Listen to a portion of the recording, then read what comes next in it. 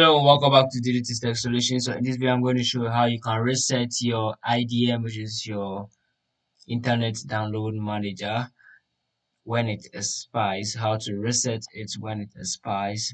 So in this video, that's what I'm going to show you. So in my previous video, I showed you how to get the product key for the IDM, how to register it with the product key and now this is on how you can reset it. So you go to your browser and search for the IDM trial resets and then you click on the github link here.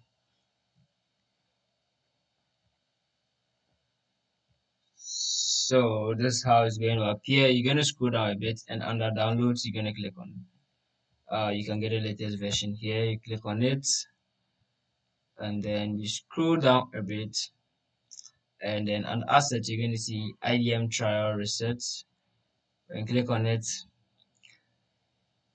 it's going to start the download. So this is it. When I click on start download I already have it so I'm just going to locate the folder. And I have it here. So this is how it's going to appear. But then you need to extract it you need to extract all by clicking here and then click on extract.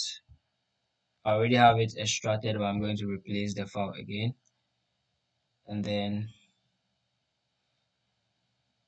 it is being extracted. So now I have the IDM trial reset application here. I'm going to right click on it and then I'm going to run as an administrator.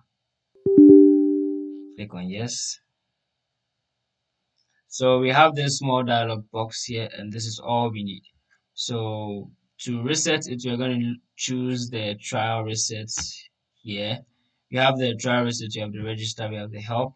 So we're going to click on trial reset and then we're going to click on reset the IDM trial now. So it's going to take a while to reset our IDM. So as we wait, let's